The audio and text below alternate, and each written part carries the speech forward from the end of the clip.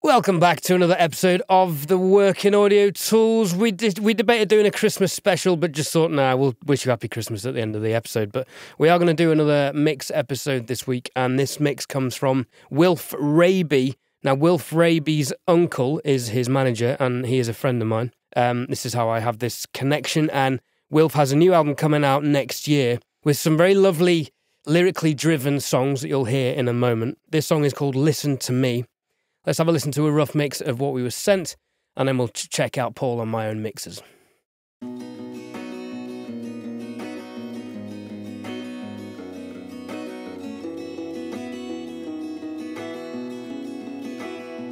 Come listen to me, please. I've got more secrets than I can keep, and dreams slide away from all that I can see.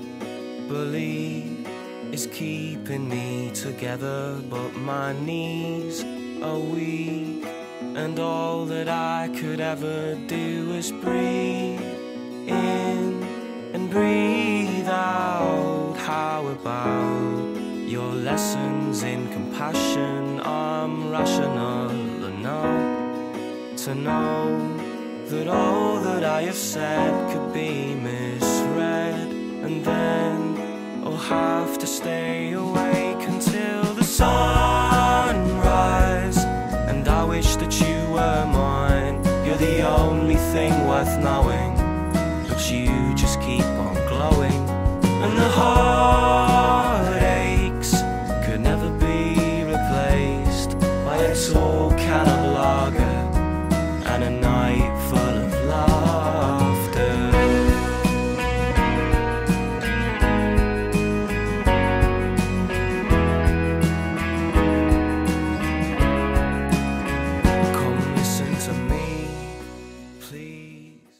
So, Paul, how did you approach this song uh, from a mixed point of view? Right. So this week, I have tried to take on board what we have kind of been told in you know our most recent interviews.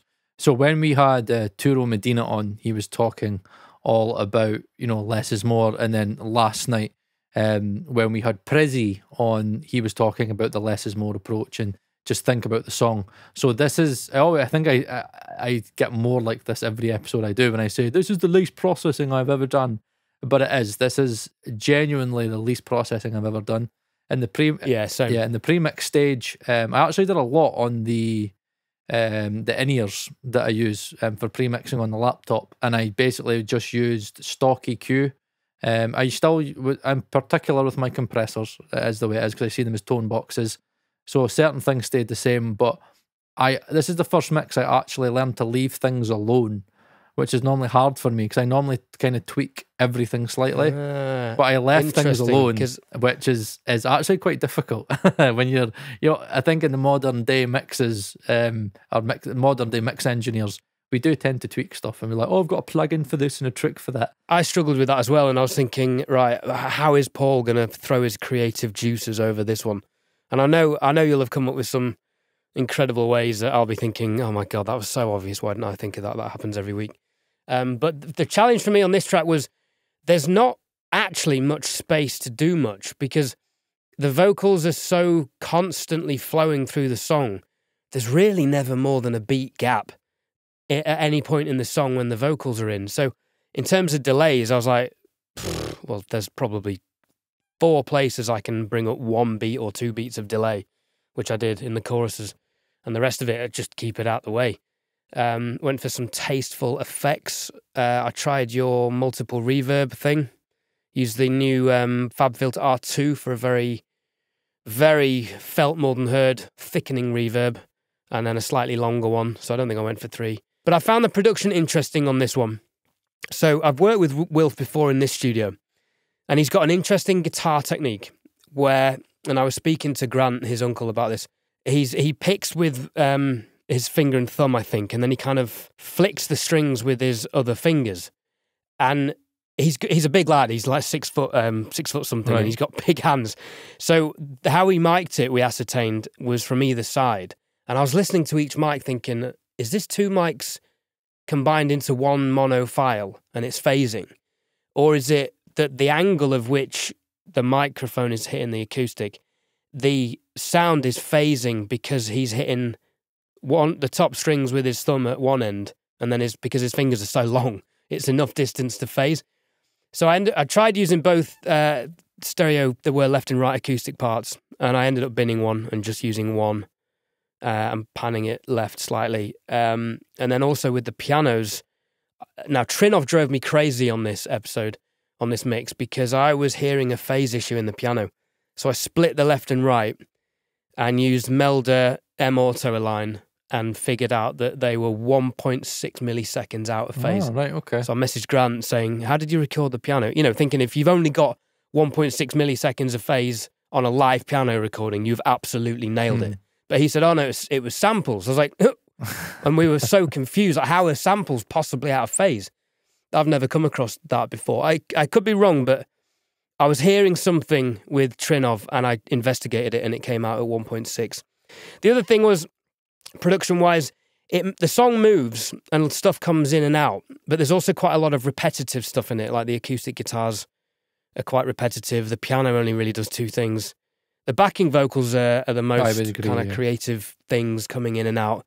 And for me, actually, the bass gives it a lift in the chorus. So it was kind of how can you make this song move and keep and flow? But then it's it's quite a nice short song, and I think it's so vocal led is. musically. I just didn't think it needed that much. It was just focus on the vocals because he's a great lyricist, and the song will sell itself. So I was the same as you. I was like, absolutely, less is more on Mm. this. I think the effect side of it was pretty hard for me, but I, from the the Not not being able to do them. yeah, I know because I think from the interviews that we've had, especially Prizzy's one uh, last night, That's a great yeah, episode. it's not it won't it's not out yet, and it won't be out till a little while yet. But you know, as a kind of spoiler alert, he was talking about how it was a great saying where he says, as a mix engineer, you have millimeters of space to work with because if you work with good tracking engineers, good producers, then the the the, the mix is all kind of ready in a place where it is just you taking it and enhancing it and fixing any issues. So you shouldn't need to do much. And we were talking about has there been times that you have, you know, um, added in kind of certain effects and kind of been a bit creative. And you know, he said yes, a few times, but a lot of the times you will just be t- told to remove them. So I was, I was like, right, okay, maybe just not. So maybe just try and back off a little bit and serve the song because many people have said that some of the stuff I do can sometimes act as a distraction and it doesn't help the song. But I think I agree with you. I didn't really feel that I could do much with it. There were certain times where I was like, mm, should I maybe do a bit of uh, auto pan to move something like the shakers or the tambourine? But I just kind of used more reverb and delay on this and trying to have the right balance where the, the annoying thing is I've not listened to the mix through these in Realphones. So I won't know how the speaker translation is yet, but I've still tried to keep the reverb and delay a little bit back, more felt rather than heard. I'm still trying to push that and have things less heard and more felt. This is me again trying to get feel, trying to get the drums more into the mix while still having the instruments there. Uh, I agree with you, production wise, it was a little bit difficult because it was such a sparse mix. You've got to have them in the mix, but still not too much to kind of let everything work together. I think the rhythm section works quite well. The acoustic guitar at the start, I kind of struggled with, and I did. I actually did quite a bit of processing. No, what what we'll do is we'll just listen um, to the mix. We'll do my mix first, um, just so you can get a bit of a context, and then we'll speak about it. We'll go to Ed's. Tell you what, though, just before we play that, credit to Grant for delivering what was a beautiful session to receive. Everything was clearly labeled, clearly numbered. Uh, everything started from zero, and compared to some of the stuff I've been working on recently, uh, I was very, very grateful. So thank you, Grant, for being such a pro at that. Right, as Paul said, this is Paul's mix of Wilf Raby's "Listen to Me," and while I remember, Wilf Raby has a new album coming out early next year.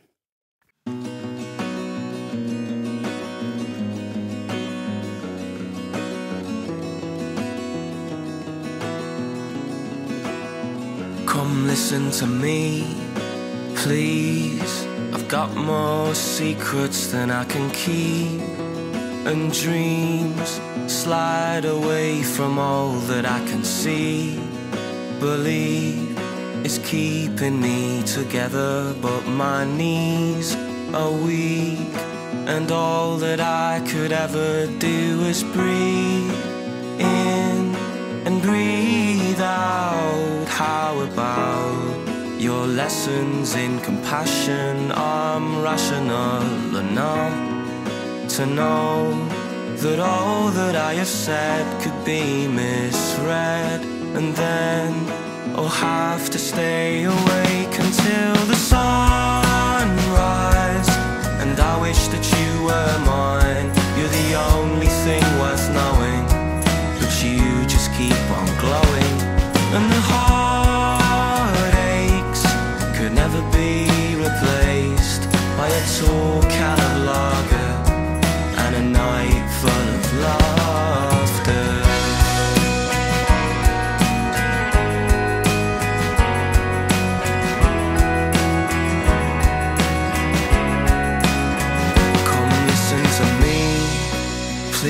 please. I awake to find I'm pulled beneath the sea. And as I look around, I see my seams afraid. I always misbehave, and in my dreams, movie screens. But all that I could ever do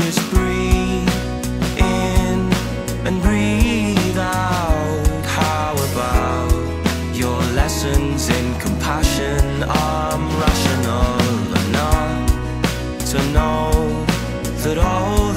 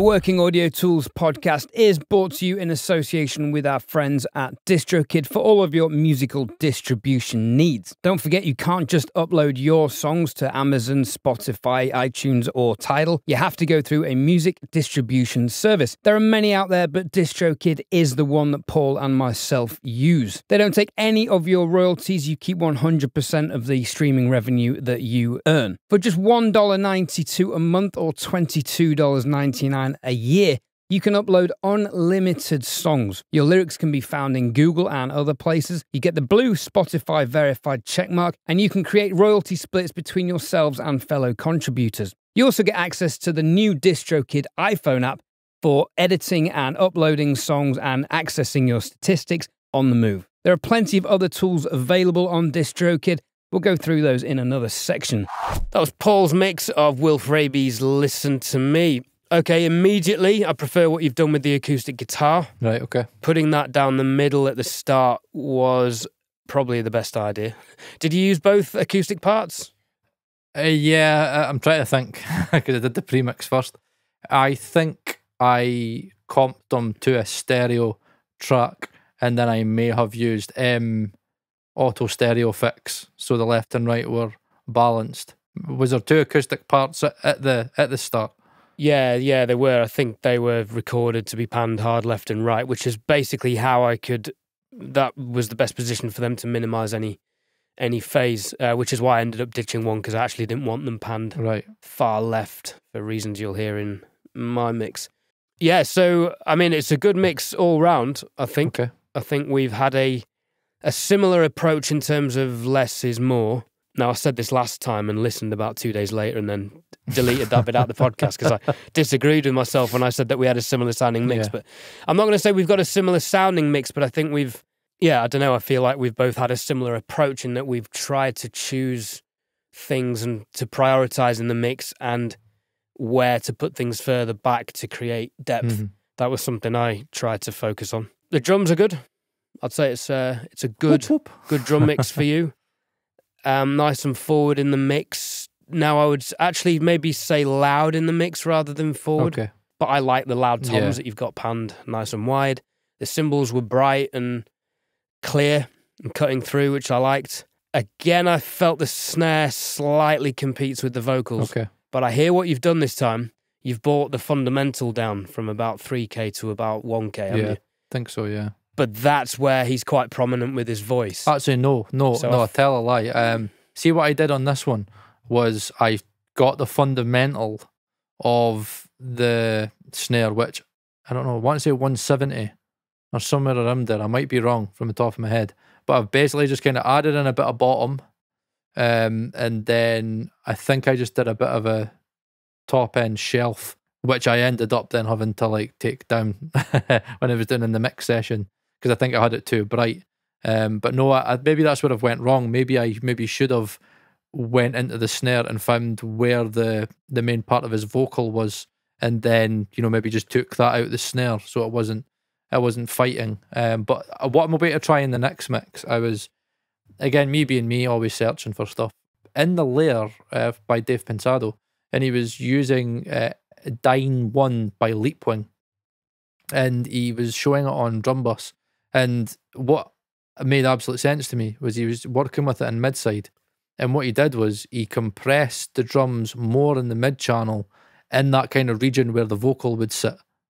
But then he Ah. kind of was like not compressing as much in the sides. So you were getting that nice bit of width from the drums, but the mid channel was just like a little bit more tucked for the vocal to sit in.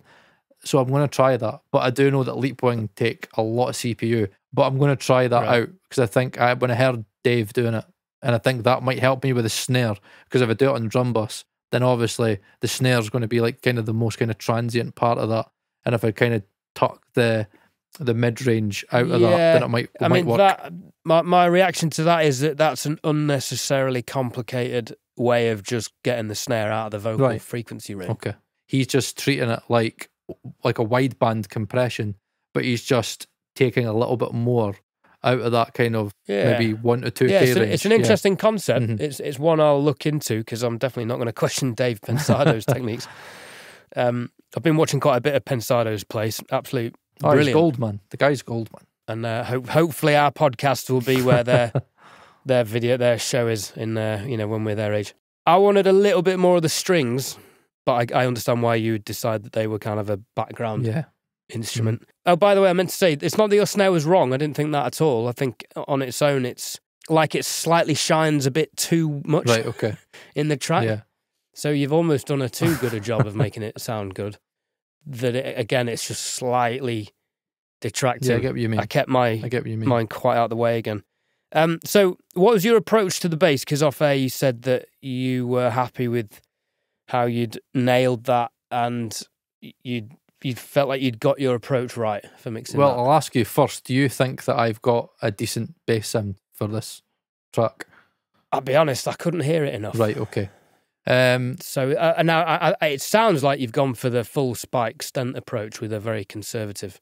Now that's unfair because d- that depends on the genre. And again, I'm not questioning uh, our Lord and here Savior Spike Stent, um, but I, am thinking in terms of like uh, you know the Keane mixes he did and Ed Sheeran's mixes. They're so piano, guitar, acoustic guitar led that the bass is a bit of a kind of background instrument. I dare say that's how it sounds in in this mix. Um. Right. So it makes sense because I was listen. I was directly referencing a Spike Stent mix when I did this.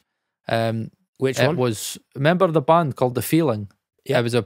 I know their drummer. Oh, do you? So it was a song called Sewn. Paul Stewart. yeah. Um, I love Sewn. I like. I loved that song. Um, and it was one of the spike mixes I remember I used to listen in my car, and I was, and it was funny because I remember going, "Oh, I really like this mix," and then I was like, I wonder if Spike Stent did it because he did a lot of UK bands, and it ended up being Spike that did it. And I love the Keane records as well. I'm a big Keane fan, and I love the sound of the mixes as well. So I, I don't know. I thought Sewn kind of worked a little bit for it. So I was listening to how he had his bass again, how he had his snare um, in his low end. Um, now again, it doesn't sound like Spike because I'm not Spike Stent, but it helped me kind of get in the ballpark because I had a little bit of a tilt. Then I went to Ozone, and then I did the the cardinal sin of then playing about an experiment and kind of lost my way, but then I was able to come back. Now for the bass, I felt the bass was too boomy when I was mixing it, and I was struggling with the, the level of the bass. And I think I remember Streaky said that about one of them. I think it was the the Sydney mix that we did. It was like your bass low end maybe just needed tamed a little bit. Um, so I was thinking about right. It's not frequency that I'm struggling with because I haven't done much to it. I've maybe just given it a bit around 200, um, then a bit of maybe around 1.5k maybe. Yeah. So I've kept it simple. I've high passed it a little bit to get the way out the kick. I haven't went crazy with it, but what you've what you're probably hearing is probably level because I, I was struggling after I'd done this one trick. I, I, do need to point out that this is also in contrast to how loud I have the bass in my right, mix. Okay. So you'll you'll you'll hear, and again, I think the bass may be a case of somewhere between the two of us is probably right. Okay. right. Now, what maybe it is a level thing because I, I, I didn't I've not given myself enough time to reflect on this. I would like another day to come back what I've done is I've taken the sustain a lot out the bass because that's what I was finding was causing so much boominess. And it's something yeah, that okay. Emra taught me because Emra's got um, a plugin called Kick Shaper that I use on kicks. Uh, yeah, I think I played around with that on this yeah. mix. So yeah. I, I, used it and he said to me, use it on bass as well, but just use the D boom. So take all the other stuff off yeah. and just use the D boom. Yeah. So you're shortening the length of the bass. And see when you understand that the sustain of the bass is what causes the boominess a lot of the time. Yeah. All of a sudden you go, ah, that is how they get this really tight bass pocket. The bass it just kind of does that instead of whoom, it's whoom, boop, boop. So it's possibly either because I've been experimenting with this for the first time. I've maybe put took too much sustain out the bass, or it's maybe I've got the right amount of sustain in the bass but I've not given it enough level because I was listening to Spikes and I was listening to mine. Yeah, I, th- I think it's that way around because right. I feel like there's not quite the the girth and the foundation right. with it because you're, you're a little conservative on the kick drum in, in relation to the snare and the toms. So without the bass, it's just a slightly conservative in the low. Yeah, and I think for yeah, me, I had the kick louder, but I was listening to Spikes and I was like, mm, the the kick, eh, like my kick was quite loud and it was prominent and it was too prominent and I could, uh, but then I heard it, so I I was a little bit conservative with the low end and then I realized right, okay, the bass needs to fill up more of that, and obviously by changing the sustain and like lessening the the length of the bass, I brought it down in level. And then it was a case of riding it. So that's why I, I, I said probably I would need another day to go back because I've genuinely just like this. The mix you heard there was genuinely finally the final tweak about half an hour ago. Um, so I would like another day to go back Paul, to Paul Third. Yeah, no, I'd like another day to go back to it. But um, I a part of me was saying no, let's get it on the podcast because then Ed could give me a fresh perspective. And then if it's just level, then that's the thing that I want to hear because then that means I'm not I've not got the boominess which can ruin a mix and if it's just a fader ride, that's generally a 10 second fix. So I'm happy. Yeah, I'm happy with yeah. that. I'm happy that you feel that the drums are better and it's amazing because it's generally as simple as not just not doing much. I think when you start going OTT with EQ and you start messing with the drums, things start sounding processed. And when you understand the sound of a processed mix, I'm like, ah, right, okay, let's be a little bit more conservative. And that's why a lot of these mixers, you'll notice that they will just have a channel strip, like EQ and a bit of compression. Might have a bit of parallel compression off the, the, the drum bus and stuff. But yeah, you don't need to do too much with drums. And I'm learning that, yeah, just be conservative. Um, and if it's a really shit kit, then that's when you probably will need samples. But I didn't feel like I needed, I think I had one kick sample. Um, but yeah, I'm happy with that because uh, okay. it sounds like you've listened to the mix and nothing has overly poked itself out of you where you were like, that's ruining it. It's just kind of little. Mate, it's it, it's it's it's it's a very releasable, acceptable, perfectly good mix. I mean, I, I'm just nitpicking the shit out of it because that's what we're yeah, here good. for. I know, I know what I'm happy Um, with that. I'm really happy with that. Yeah, yeah, no, no, I I would be as well. Um, the the drums, interestingly, were uh, all electronic kit samples. Ah, what a. Well, sorry, electronic kit recorded and then sampled, I believe, using Slate All right, okay. something. I can't remember what Grant said. I think the main difference between what you and I have done is we've just prioritized the placement of different things in different places. But we've tried to go for a similar approach, I think. All right, without further ado, let's put on my mix, which I haven't heard for a couple of weeks, and compare. Let's do it.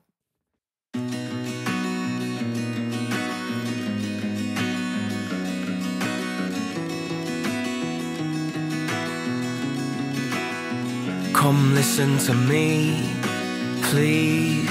I've got more secrets than I can keep, and dreams slide away from all that I can see. Believe is keeping me together, but my knees are weak, and all that I could ever do is breathe in and breathe out. How about your lessons in compassion? I'm rational enough to know that all that I have said could be misread, and then I'll have to stay awake until the sunrise. And I wish that you were mine. You're the only thing worth knowing but you just keep on glowing. And the heartaches could never be replaced by a tall can of lager and a night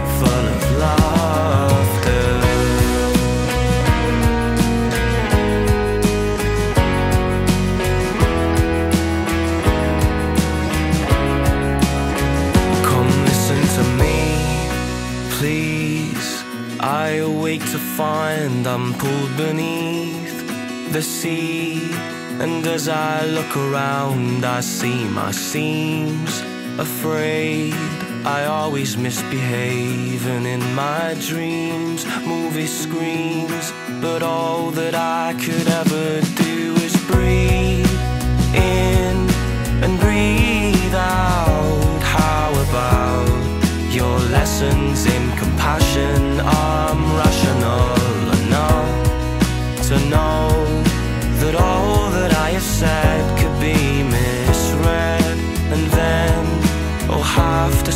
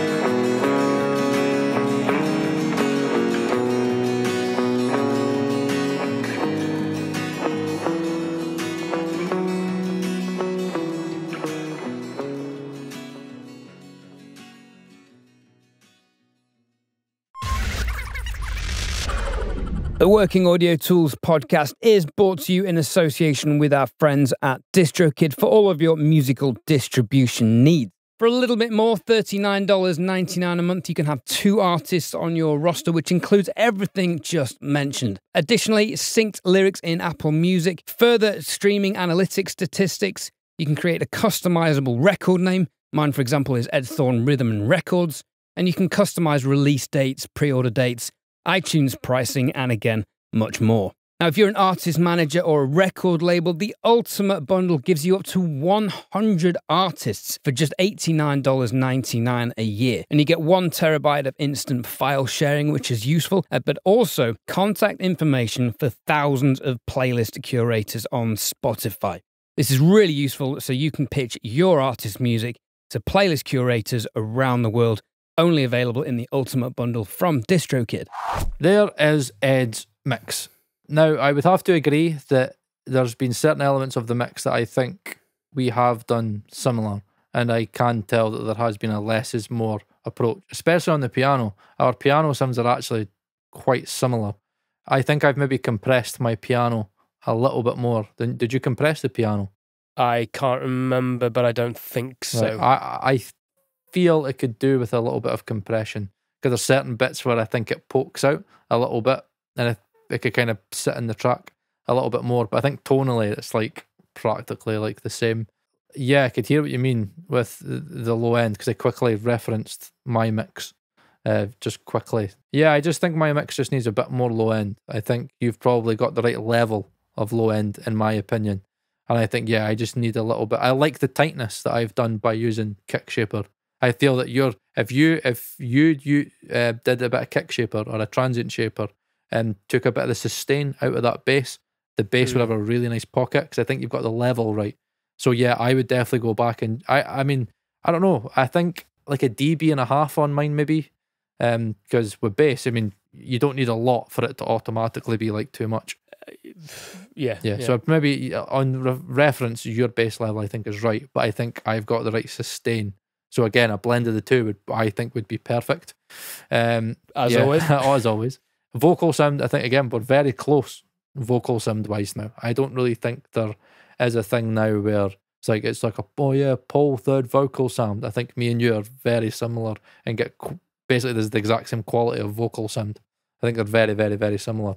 Um, they won't be identical, but I don't listen to yours and think mm, it could do with any adjustments. I think it it works very well. yeah, I th- I think I've cracked the code for consistent, consistently good sounding vocals now. I think still learning where I need to tweak ceilings of sound, which is my go to to start. Mhm. Marlon at White Noise Studios nailed it in his video on that. He just said, "This will get you to a good starting point, and then go from there to suit the track and the singer," which is what I did. I played a lot around with the Maag EQ4 on this one actually because I was quite inspired by the Pultec trick and how obviously uh, you've got phase shifting going on um, with the Pultec units, and I thought, I wonder what phase shifting might be going on with the Maags as well. So I played around with that and found I wanted some weight and added actually added 40 hertz on the Maag. Now they're quite wide curves. It's not necessarily something that's heard, but again felt. I thought, which I think actually I f- feel like you maybe had a bit more low end on your vocals than mine, and I could have could have put more. No, it's in, funny with mine is that mine is the most easiest thing ever. I just go into ceilings of sound. I so I DS ceilings of sound DS. Um, I print that, and then I duplicate it twice. So I've got three. One goes into a stay level, de-esser, then ceilings of sound. So it goes stay level, and then Oh, you actually print that three times. You don't just send it to No. different parallel sends. No, I print it three times. So basically, the compressors are receiving like the optimized, like well balanced vocal to my ears. So it goes, you know, so I've sorted out the DS and balanced it, and then obviously doing it the way I do it in Ceilings of Sound. I do it a very specific way. Um, Yeah, I do as well. As well, you, you can't just do it as it comes can't. out of the box. you can. I've got a very, very specific technique. And then, so every compressor is getting the exact same vocal that's been balanced and de-essed. Three lots of compression, three different tracks. I pick which one sounds the best, so which compressor wins, and then the other two, left and right, and just push them up, and you get that fullness that the parallel compression Oh, gives yeah. you. It's, yeah, it's like hard left and right. Yeah, you're panning them, Hard or like twenty hard left percent and left, and right. Um, and what I like to do is, so seeing the, the verse on mine, um, and the sort of the intro, I didn't have the parallels in, and I brought it in for when the rest of the instrument instrumentation comes in.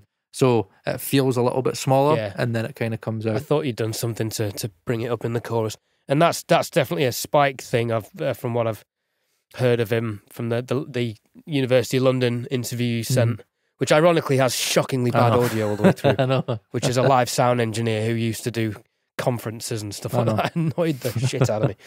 Uh, maybe there's a job there for me. Um, yeah, it's, it's it's it's something spikes all over, uh, bringing in parallels and stuff like that. And yeah, I actually I feel like your chorus lifted quite nicely. I I think I had some parallels going on. I think I had a parallel keys bus, parallel drum saturation that I had in anyway, but brought in. But yeah, I've, I've, and then backing vocals. But yeah, I felt like you did a nice job on that, elevating. The And then in regards to your drums, I actually felt that the snare could maybe use a little bit more top end to me. Um, uh, balance wise, I think the kick. Mm, I, I think the kick's just maybe a little bit too crunchy. I don't know if you've maybe pushed into the limiter a bit too hard, or I don't know. I just felt that. See, I went for a bit of a softer kick sound because I felt it was a soft song. Originally, I didn't. I not. I did like the the clipped and saturated thing, and used this kind of normally use the split EQ thing. So you've got this like, but I just kind of felt that the song was soft, so I went for a softer kick. But level wise, I thought it was right. That, that's interesting because I think we've gone for d- different ways of softening it. Right. So I know what you mean about it, it is a soft song, which is why I think I backed off the top end on the cymbals Yeah, yeah, yeah. compared to yours. But I still wanted it to drive, and I figured, right, well, if I haven't got the tight bass sound, then it needs the kick to drive Mm. it.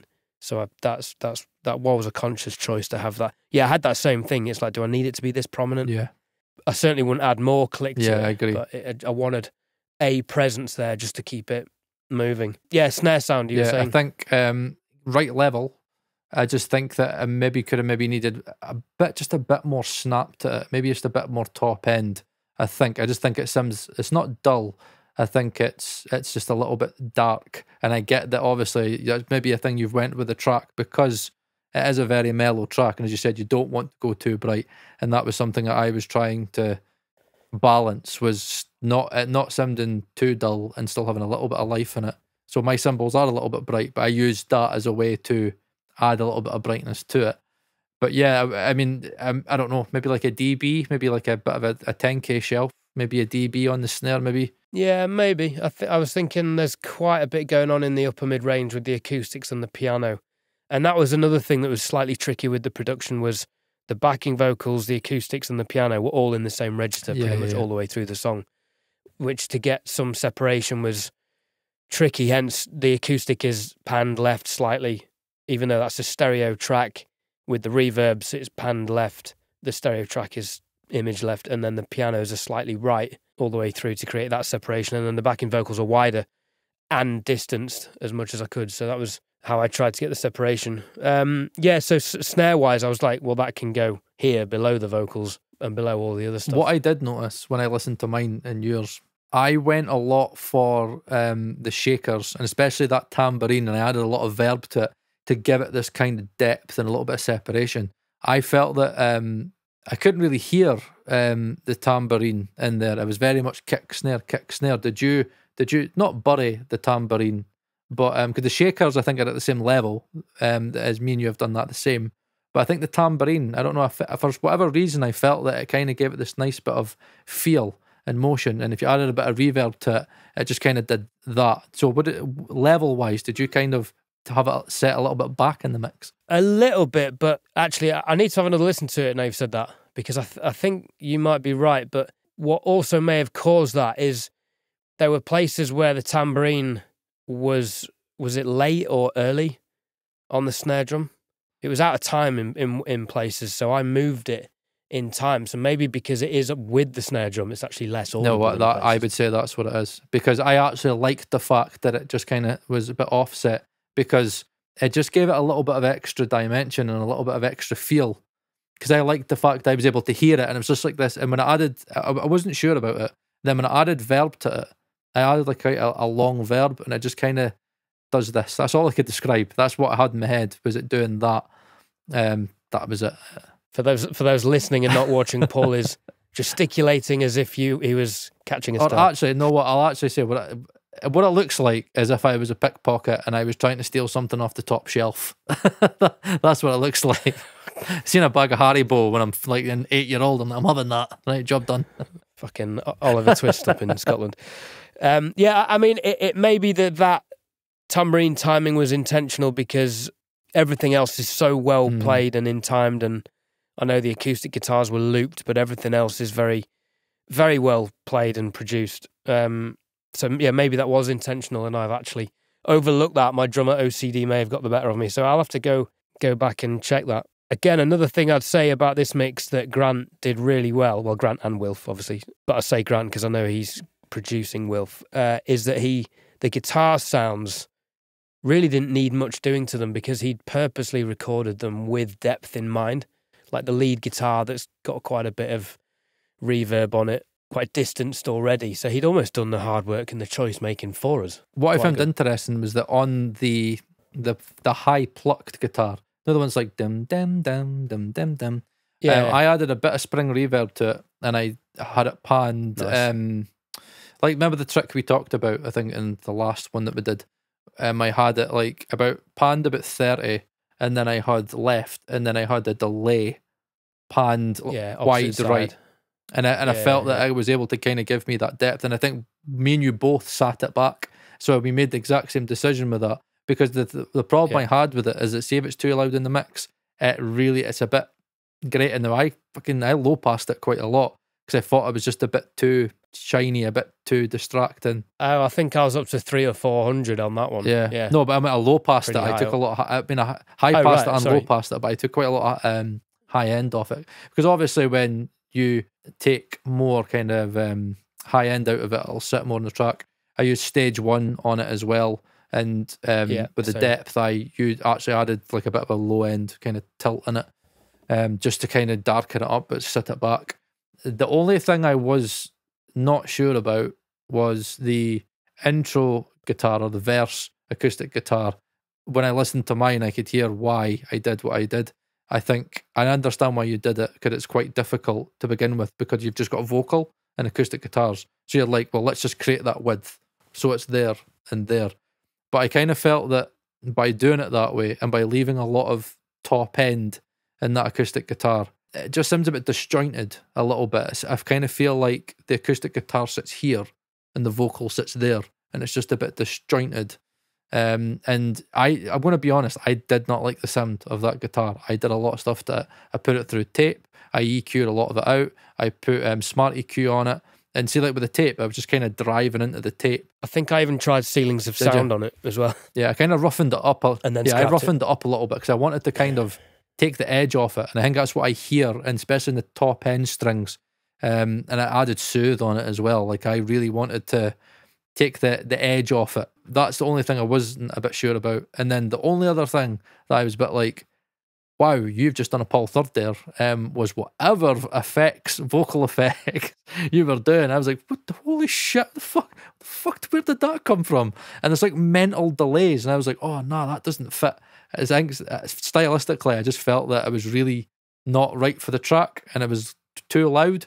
And I was like, holy shit! And then I heard, I listened to your video that you put on YouTube, and I was at your mix portfolio, and I was on my phone, and I even I heard it on my phone, so I knew what to expect. So it's not as loud through these, but on um, mobile phone, that delay is quite prominent. Ah, okay. To be honest, uh, I broke my one of my phone speakers, um, so I've got my phone in mono. Uh, so I haven't actually referenced this mix on my phone. Right. I, I'm just I was at a point where I was trying to trust the uh, the PSIs, which I think it, it worked in terms of translation. I mean, how did it, how did it translate to It- headphones? Not good to me. It felt distracting, and it felt like it wasn't timed, or it, it was just too loud. Do you mean the? I mean the whole mix. Do you mean the the, the, delay? Yeah, just the delay. Um, I think Okay. headphones wise, I don't know.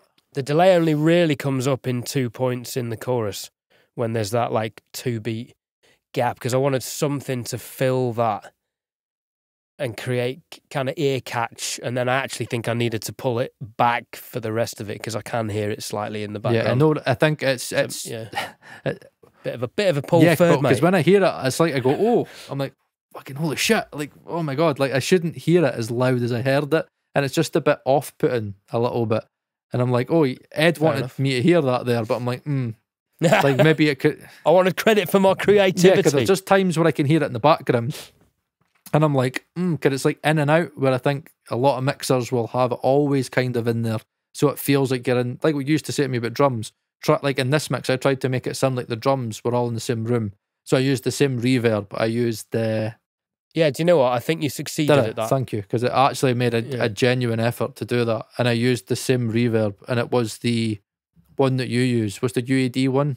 Ah, there's That's Ocean it. Way. I used the Ocean Way. Don't know if I used that on this one though, because I might have been in Ceilings of Sound mode. Right. Sorry, uh, I might have been in Sound City Right. Studio mode. So for me, I kind of copped that um, little trick that you use, and I processed all of them with the same reverb, and I did feel that yeah, that, um, and I don't know why it doesn't make it makes absolute sense. Of course, you would apply the same reverb to all. Okay, snare, no, I gave it. They done the the short snare and the the snare plate. Um, uh, but what was interesting with that was remember how we talk about sometimes you talk about kind of the low mid thing when sometimes you use certain reverbs. I, I noticed that for the first time on this record, one of them was definitely adding in this low mid energy that I actually had to EQ. So once I'd added in the verb, I had to go into the snare and take out a bit of a bit of mud. Um, and I never even realised that verbs could do that. You know what I mean? You just oh, you have to pro- have to EQ reverbs, yeah, because they are, they are so influential on the overall Yeah. tone of the of the of the instrument, especially with snare drums, as you found. So I still EQ out the honky middle, you know, four five hundred hertz on a snare reverb and high pass them to one fifty, if not two hundred, if not more, depending on how much body you wanted. So yeah, yeah, you've got to you've got to be careful with reverbs because they do much like a compressor. They can really, really color an Mhm. instrument. But yeah, I think that was again me being nitpicky because again that's that's what we've got to do um, to help each other out. But um, again, typical if you put minds in yours together, especially this one because I think there's so many elements that are close. I mean, there was certain guitar parts that you have decided to like. I'm going to put that further in the mix. There was one guitar in the chorus that I just felt was too loud. I was just like, right, okay, I get it. There it is. Well, the loud bits were post chorus where yeah, the bow, yeah, yeah, yeah. Bow, now, now, now, that yeah, that that bit. But again, that was you know Spike's approach of have something almost wrongly too Mm-hmm. loud in the mix and give things their their their little bit of space, their little kind of Yeah. moment. Um, and then for the rest of it, yeah, there was a reasonable amount of selectivity in terms of moving things forward and back and up Mhm. and down to give them their space. Again, because that's how I felt you could get movement in the track. I definitely wasn't going to be doing any auto Yeah. panning on this I one. Um, there was barely any space for delays. Reverbs needed to be felt more than heard. So yeah, a- again, it it was an interesting track to mix. Um, I, and I think we both did a So good did job. I, I agree. Uh, be interesting to hear what Wilf and Grant say. I'll let you know their Yeah. feedback off air, Paul. And on those bombshells, do you want to round up the year? Yeah, because As- it's Christmas. I know because obviously, what date is it? It's the twelfth for us as we record this. But when we release this, it'll be very close to Christmas. Be the twenty third, Yeah. probably when this comes out. So happy Yes, Christmas, Happy everyone. Christmas. Thank you for listening to the podcast. We're very happy with the growth. I'm just looking at um, statistics because for for people who don't know YouTube or don't do YouTube, for us to get to a thousand subscribers in what was it, nine or Yeah, ten videos, Crazy, crazy. with the watch time, because you don't just need a thousand subscribers to monetize. It's only five hundred. Subs- it's went down to five hundred subscribers, three thousand watch hours, and you need to have I don't know, like so many uploads or something like that. Oh, okay, that's Yeah. changed from four years, three, the watch four time's years very hard. When we, when, watch when I time's very hard to get. It is if you're doing short Mhm. form content, but obviously we're doing like hour long episodes, so we could we could do that. Now, just so everyone's thinking, oh my god, more adverts, you guys are going to monetize. we did promise in our first episode we won't monetize. However, what we cannot guarantee is YouTube putting videos adverts in our videos anyway, because I think the statistic in, is one in four videos that aren't monetized will have adverts put in front of them. I wouldn't be surprised if that was just all videos it would make sense. It's just kind of expected now that you have adverts. So if you do get adverts, at the moment it's not us doing that, although I'm sure you wouldn't begrudge us doing that and earning an extra few couple of pound a week between us, um, which is pretty much Yeah. what it would amount to. It's not much. So we're happy with how the podcast has grown. Thank you for liking. Uh, if you can leave reviews. But how are you feeling? How uh, how you, how have you feeling like you've developed this year?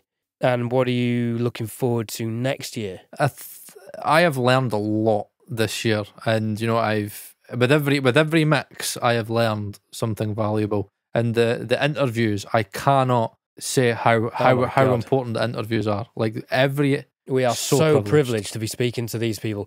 And the the funny thing is, offline, you get to listen to it again. Uh, I mean, we could listen to them anyway, but but I, I when I'm editing, I'm always really reabsorbing what's been said. Yeah, and I think that um, I'm just getting better. You know what I mean? I'm just learning. I'm I'm making mistakes, and I'm very very proud of me and you that we have the balls to do what we do on YouTube because it's not easy to put your mistakes and your flaws out there. But you know, because because people yeah, point them do, out. But at the end of the day, me and Ed are doing this to help us and to help you watching as well. Because at the end of the day, we should be able to have a supportive network of engineers who's not here to bash, not here to make themselves look or feel better.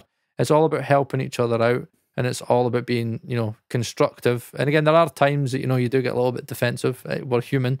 But I genuinely have an, a big element of proudness with me and Ed that we have managed to take our podcast to, you know, a place where we um, are confident enough to share our mixes, to share our approaches, and to hopefully create a community of supportive people that are hopefully going to watch and listen to this and feel a little bit better in themselves that know what it is a struggle. And yes, you are going to make mistakes, and it is okay to, you know, be shit, and it's okay to be okay, and it's okay not to be Spike Stent. It's okay not to be the people, the guests that we Ah, have on the podcast and stuff. yeah. So yeah, I'm I'm just um, blown away by how we've managed to get we've managed to get through this, and we're still we're still alive, and we we still have um our and we're still yeah, friends. we're still friends, uh, and we've not left YouTube in a huff because people are oh are giving me a bit of a hard time on some of our mixing decisions. But we do Yeah. appreciate all of your feedback. Um, we don't have many that um are nasty or mean. I think we've maybe had two or three max like throughout all the episodes that we've done. So we really appreciate all your feedback. We really appreciate the support. And yeah, um, for us next year, we just plan on getting more guests and again doing still doing mixed comparisons. But this is probably the last mixed comparison that we do in the way that we've done it today and the way we've previously done it. We want to take more of an educational approach. Um, I think I'm ending this year on kind of both a negative and a positive note, personally. Negative in terms of I- I've been researching, um, getting into kind of actually, you know, trying to get clients. One or two people have uh, are, are, are, are asking me to do stuff, which is cool. It's not regular enough yet at all. Uh, ideally, I need like at least one mix a week, and then I'm kind of I'm in a good place uh, balancing that with YouTube and the podcast and drumming gigs. But it's what I'm finding is I, I've explored Fiverr in the last couple of weeks, and loads of people are on it. And I saw a guy advertising mixes for sixteen pounds Wow. the other day, and and he hell. was he lives in India, and I heard his mixes, and actually it was quite good. So I thought, hmm, either that's bollocks and that's not him. He's just put that up to try and get the work. In which case, I can kind of appreciate the entrepreneurial tenacity and the ballsiness of doing that, even though it is massively wrong. Um, but sixteen pound for him might is probably a, a day, if Yeah, you know, what you maybe even a week's good wage over there. How can we We can't. compete with We that? can. 16 quid by the time I've taken into account 16 quid doesn't even cost my day cost of running the Yeah, studio which is about 25 quid by the time I break up the rent and the bills and the amount of days I'm in 25 quid a day plus insurance plus tax Eh, so that that's kind of got me down a little bit but on the positive side I would totally agree with what you've said where we have come with our mixes from when we, from the 100%, produce yeah. like a pro days to now I really feel like we're getting to a point where it's just a matter of we need experience. Yeah. And this is this is where I got to with with drumming on a few occasions. I remember when I was younger, everyone just said, "You're good, but you need experience." I was like, "I you, you can't get that overnight," and I was so impatient. And it's the same with photography. I got to a point, for anyone interested, Ed Thorne Photography on Instagram. I did do headshots. I got pretty good at it. But to get from that level to expert level, I just needed experience, which I couldn't be bothered getting. So I packed it in. And it, I feel like it's the same with mixing. And there's a little bit of me now that I'm ill, as you can probably hear at the end of the year, thinking, I just want to sign off for the year now. Totally, just, yeah. just relax. And my girlfriend's like, no, no, no, you've got to keep pushing, keep pushing. I'm like, I've got loads to do. I need to keep the videos going. Uh, podcast will get edited. That's kind of takes the priority over my own channel sometimes. Uh, and I need to keep mixing because you've just got to keep pushing forward. But I feel like I've tried and tried and tried. It's good, but it's still not Spike Stent. But then I'm thinking it's not gonna be because, and it never will be because by the time I've um I've done it as long as he has, he'll have done it for another 25 years. I mean, at this rate, by the time I'm 58, we'll still be doing this podcast, slagging each other's snares off and trying to trying to become However- professional. I said, I However, just last week, remember, right? Al Schmitt was still in his fucking nineties when he was mixing. He was mixing up until um, he died. I mean, that man was like constant. He never gave up. Never ever gave up. So um, I don't know if Serban and Spike and all these great guys are gonna um, keep going at it. I'd imagine they keep going at it as long as they can. But look, there's no there's no point in sitting there going, "Oh no, we're never going to be as good." You may as well reaching for the stars. That's what like me and Ed are the same. That's why me and Ed get on right. We've got the same um, uh, confidence in our own abilities, and at the end of the day, right? Well, I think you have confidence. I, I have confidence by kind of achievement, but that's something I need to work on because once I line up infallible confidence with ability and experience, it'll happen. Yeah, and know what? See, at the end of the, no, this is how I want to finish it. I I want to have a timestamp. Right, use this as a timestamp. I want to remember this episode, and hopefully, in a time, I'll get fucking lynched for this, but I don't care. The timestamp We'll get Yeah, lynched in the that comments. we anyway, can look back at this episode with a Grammy in our hands. Doesn't matter who it is. I don't give a I didn't give a shit who it is, but there's nothing to say that you can't get a Grammy. Prizzy did it, and Prizzy was just perseverance and hard work. Graft, graft, graft, graft, Toro graft. did. Turo did it. Look, there's nothing to say that with enough hard work and you make the right contacts, which we have, we've got a lot of great contacts now, and we keep persevering that look, it's not going to be two years, it's not going to be three years, it might be 10 years. But know what? It's not impossible. It's in your reach if you put in the hard work, you put in the graft, you network, you work hard with your clients, you invest in yourself. And that's why I want to end it for this year. So whether it's me, him, or it's any of you, I would love to revert back to this episode one day and us say, know what? We got there. Because it is a journey, it is a mountain to climb. Which, no, this is the question.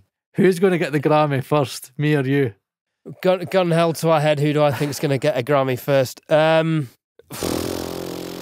I don't know, guys. leave comments. that's the way to end it, man. no, no, no, don't, because that's that no, makes it look, a we're having a competition. laugh, man. Fuck's Like, sake. I, I think the way we need to get on is to team up and mix Oh together. man, I know. I've Um, thought about that. eh. Imagine, um, oh, imagine the internet would implode if Paul Third and Ed Thorne got a joint Grammy. Internet would. Fu- YouTubers getting fucking Grammys, and me and him are just like.